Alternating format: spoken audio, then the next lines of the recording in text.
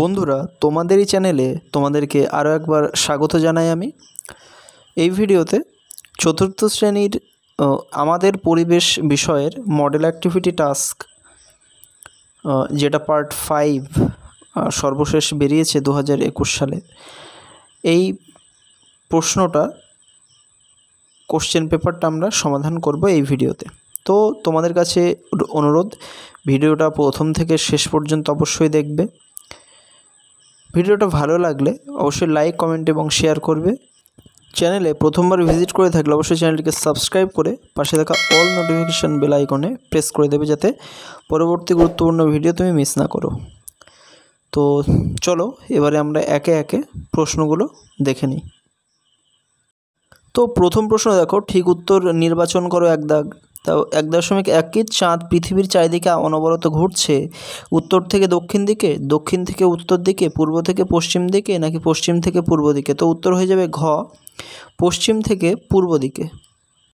Next, এক দশমিক দুই। ব্রোঞ্জ তৈরি করা হয় যে দুটি ধাতু মিশিয়ে, সেগুলি হলো লোহা আর টিন, তামা আর টিন, লোহা আর তামা তামা আর সোনা। তো উত্তরটা কী হয়ে যাবে? খদাগ তামা আর টিন। নেক্সট এক দশমিক তিন। টুসু পরব পালন করা হয় যে মাসে, সেটি হলো চৈত্র, নাকি বৈশাখ, নাকি শ্রাবণ, নাকি পৌষ। তো উত্তর হচ্ছে ঘ দাগ, সেটা হচ্ছে পৌষ। নেক্সট দেখো দুই দাগ। একটি বা একটি বাক্যে উত্তর দাও। তো দেখো দুই দশমিক এক কি ধ্রুবতার ধ্রুবতারাকে আকাশের কোন দিকে দেখা যায়? তো উত্তরটা হচ্ছে ধ্রুবতারাকে আকাশে উত্তর দিকে দেখা যায়। নেক্সট দেখো দুই দশমিক দুই। এমন একটা বর্জ্য পদার্থের নাম লেখো যা সহজে মাটিতে মিশে যায় না। তো দেখো, প্লাস্টিক হলো এমন একটি বর্জ্য পদার্থ যা সহজে মাটিতে মিশে যায় না। এবারে দুই দশমিক তিন, পশ্চিমবঙ্গের কোথায় রেল ইঞ্জিন তৈরি তৈরির কারখানা আছে? তো দেখো, উত্তর পশ্চিমবঙ্গের রেল ইঞ্জিন তৈরির কারখানা আছে চিত্তরঞ্জনে। এরপরে দেখো, তিন দাগ, একটি বা দুটি বাক্যে উত্তর দাও। তো তিন দশমিক একই কৃত্রিম উপগ্রহগুলি আমাদের দৈনন্দিন জীবন কীভাবে সাহায্য করে? তো দেখো, উত্তর দেখো, কৃত্রিম উপগ্রহগুলির মাধ্যমে আসা আমরা নিম্নলিখিত কাজগুলো করতে পারি। তো কি এক নম্বর পয়েন্ট হচ্ছে আমরা আবহাওয়ার খুব খবর জান মানে আবহাওয়ার খবর জানতে পারি। এবার দুই দাগ দেখো, আমরা মোবাইল ফোনে কথা বলতে পারি এই কৃত্রিম উপগ্রহগুলির মাধ্যমে। আমরা বিদেশের খেলা লাইভ দেখতে পারি এই কৃত্রিম উপগ্রহ উপগ্রহগুলির মাধ্যমে।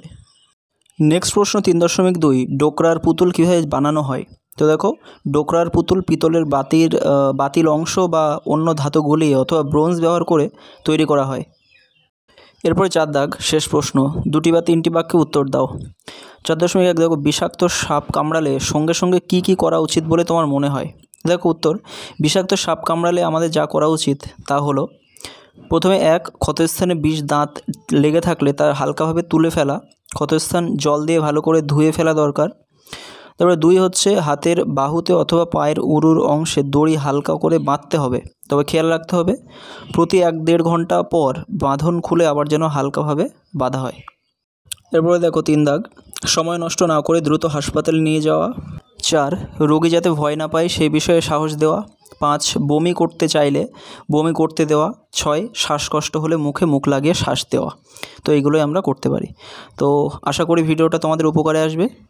ভিডিওটা প্রথম থেকে শেষ পর্যন্ত দেখার জন্য অসংখ্য ধন্যবাদ। ভিডিওটা ভালো লাগলে অবশ্যই লাইক কমেন্ট এবং শেয়ার করবে। আর চ্যানেলে প্রথম হয়ে থাকলে অবশ্যই চ্যানেলটিকে সাবস্ক্রাইব করে পাশে থাকা অল নোটিফিকেশান বেল আইকনে প্রেস করে দেবে। যাতে পরবর্তী গুরুত্বপূর্ণ ভিডিও তুমি মিস না করো। Thank you